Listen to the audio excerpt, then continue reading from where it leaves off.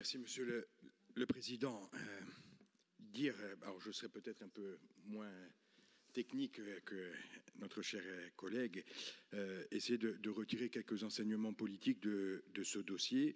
Euh, vous rappelez que lors de la précédente mandature, lorsque nous, enfin en tout cas pour ma part, lorsque nous sommes rentrés dans cet hémicycle, le président de l'exécutif nous présentait ce dossier de fibrage de l'ensemble de la Corse comme un des dossiers stratégiques euh, de la mandature. Et donc, euh, au-delà des questions parfaitement légitimes posées par euh, M. Saville, mais est-ce que l'objectif de fibrage de l'ensemble de la Corse, ce dossier stratégique de la dernière mandature et qui se poursuit dans sa réalisation aujourd'hui, est-ce qu'on arrive au bout de cet objectif? Manifestement oui, et tous les indicateurs nous le disent. Et donc moi, je voulais le souligner parce que ça me semble important.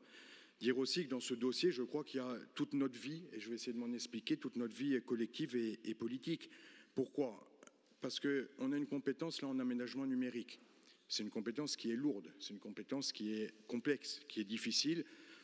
Et on voit bien que malgré euh, des compétences euh, complexes à exercer, lorsqu'il y a une convergence euh, et une intelligence collective, on voit bien qu'on peut faire de très belles choses et de très belles réalisations. Donc avoir de fortes compétences ne nous empêche pas du tout de mettre en place des politiques publiques, au contraire.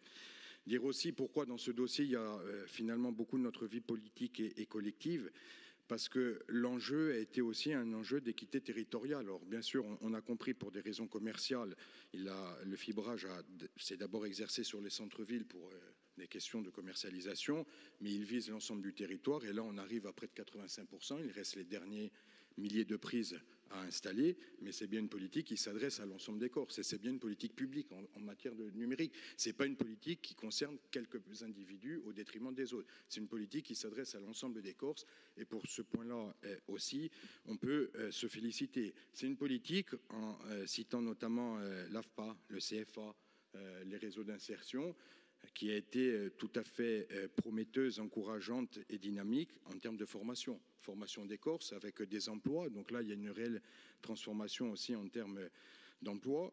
Dire aussi, ne pas l'oublier, la dernière session, on a fait la démonstration que euh, le préfet Le Large avait fait une campagne jusqu'aux dernières heures contre nos politiques et notamment en matière de transport, ne pas taire non plus les difficultés qu'on a eues d'un point de vue judiciaire dans ce dossier, puisque l'ancienne préfète, Madame Chevalier, avait attaqué euh, le contrat euh, sur quatre motifs et qu'elle a été déboutée devant la justice sur les quatre motifs et qui nous a permis de continuer. Donc euh, c'est aussi un dossier qui peut sembler anodin. On parle du numérique, on parle du fibrage, mais des relations extrêmement compliquées avec l'État et qui nous ont quand même permis de tenir bon avec ténacité et, réussite au final. Et on a bien fait collectivement d'aller au bout de la démarche.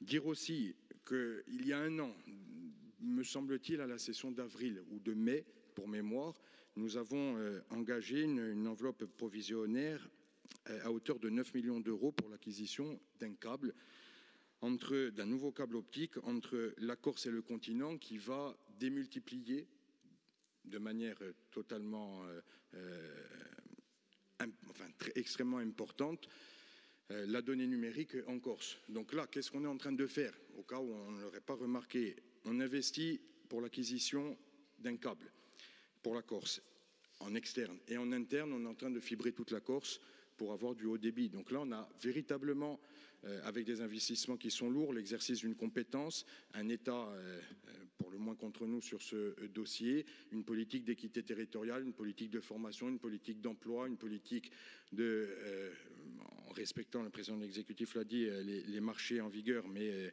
où on essaie de privilégier la, la compétence locale. On a tous les ingrédients d'une politique réussie, on a tous les ingrédients de l'émancipation d'un peuple. Ici, au niveau de la souveraineté numérique, qui est un pan essentiel de la souveraineté de la Corse et de l'émancipation des Corses. Donc euh, là, sur tous ces points, je crois qu'on a un dossier qui est euh, exemplaire, nonobstant les, remarques qui ont été formulées avant, un dossier exemplaire pour euh, notre mandature et pour la collectivité de Corse. Merci.